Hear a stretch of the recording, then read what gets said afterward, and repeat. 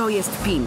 To kot, tylko taki trochę większy i bardziej dziki. Uratowałem ją z rąk kłusowników. Teraz ona jest moją przyjaciółką i z nią mogę wszystko. Nawet zdobywać szczyty. Pimi z krainy tygrysów.